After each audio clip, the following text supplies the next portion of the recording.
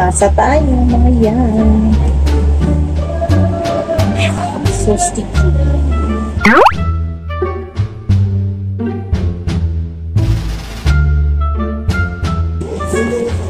Lagyan ka na. Ay, mga yayo sa'yo. Yan mo niyay. Cooking bowls. Ikaw. Hindi.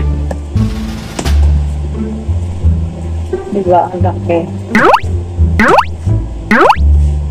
Wow.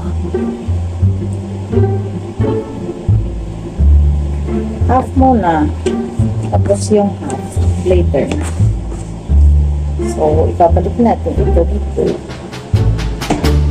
Tatakpan na naman. Para hindi siya magsundo. Tapos ito, masahin na ng masahin.